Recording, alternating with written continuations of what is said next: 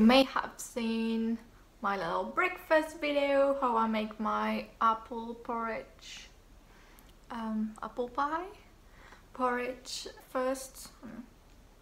And if you don't have like biscuit or anything, just almond butter works really well, but I was in the mood for biscuit so yeah, so biscuit it is.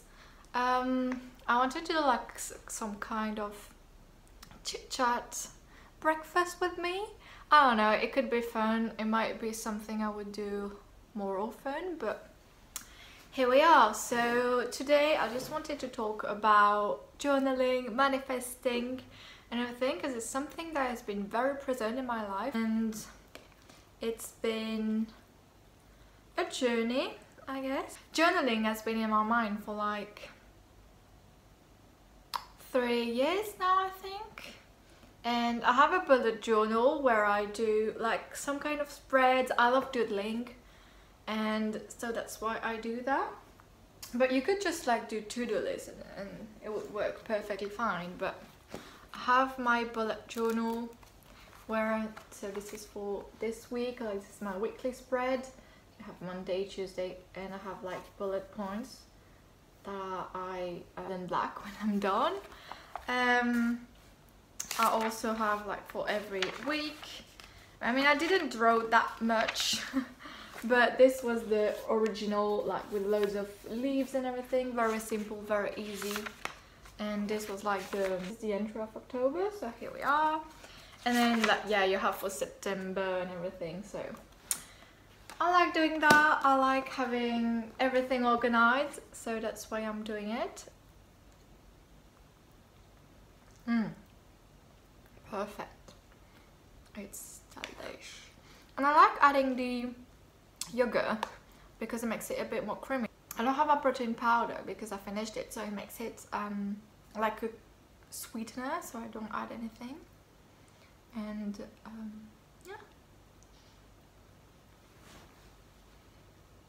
And so for me journaling is not just the bullet journal with all my to-do lists and everything. It's also like journaling writing everything that's on my mind. I've talked about it in my first video but I wanted to talk about a bit more now. So I have this notebook. If you haven't noticed I'm a bit obsessed with notebooks. So yeah. I write a lot.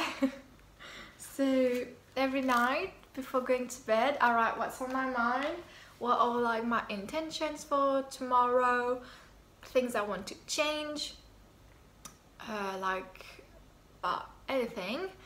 And like weekly usually on Sundays I would write what has been good this week what has been um, very important what has been I don't know what I need to change for next week. It's only about like my emotions, how I react. It's very self-centered, I would say.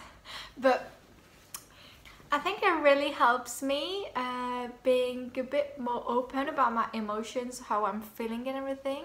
Which is, okay, it's going to be quite personal now, but I have trouble with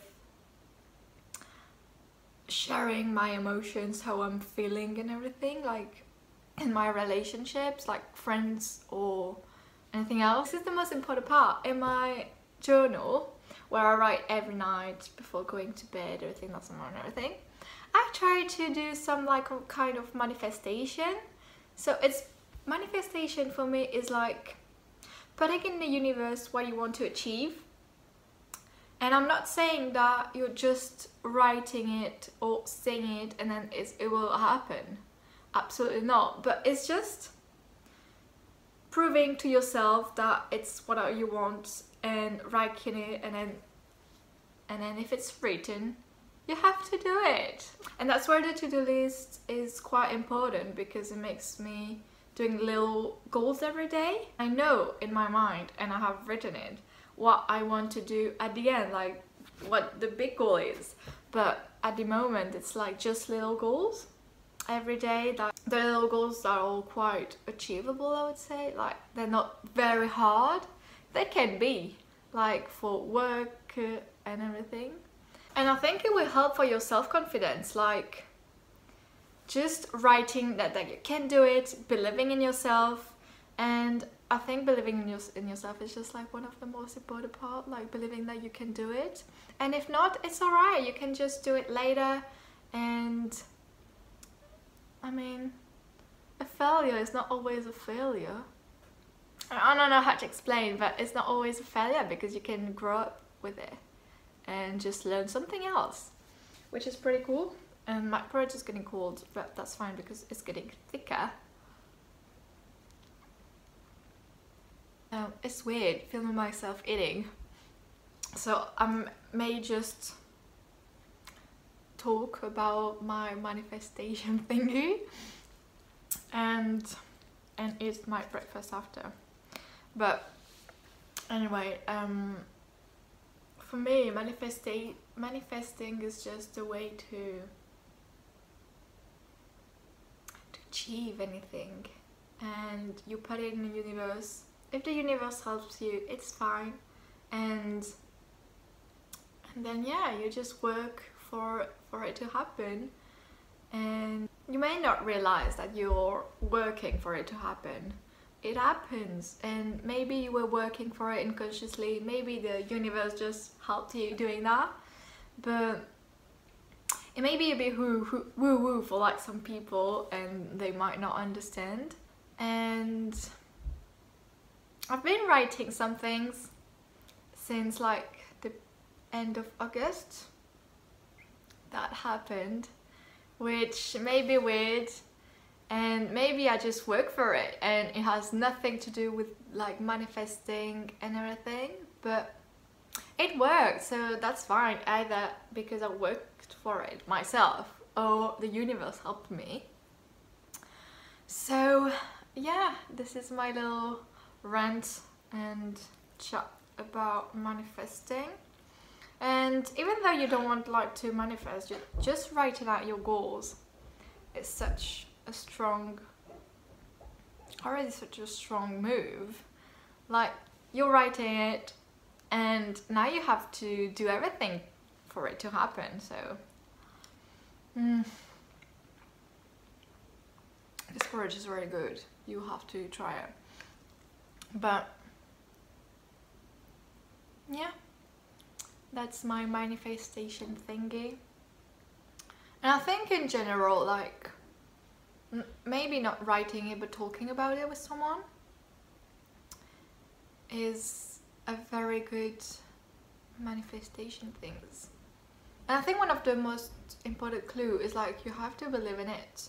You have to believe you have to just believe it with all your heart that it's going to happen which may be a bit crazy I don't know but yeah. So I hope you enjoyed my little rant. It may be very confused and I might repeat myself loads of times but I've done some research and I definitely could do more but I'll try to read some books. And if you have any like books recommendation or anything just write it down. Oh, and I almost forgot, but like Rohini Elyse, she's a YouTuber, she's also doing some podcasts and she inspired me so much to do like manifestations kind of things. I did already a bit before, but she's talking about it with such a bit more clearer than I am. So um, I would definitely recommend to check her out because she's amazing. She's really funny. Her podcast is Acting My Age by Rohini Elyse. She's amazing. She's lovely. And I hope you like this video. And I might include a little matcha, how I do my matcha clip after that. Because I would like to share how I do my matcha. That's basically it. So yeah, I hope you enjoyed this video and it's a little bit different it, like it's not a vlog but tell me if you like this kind of like face cam um, videos with me oh not really eating my breakfast but and I hope you have a good day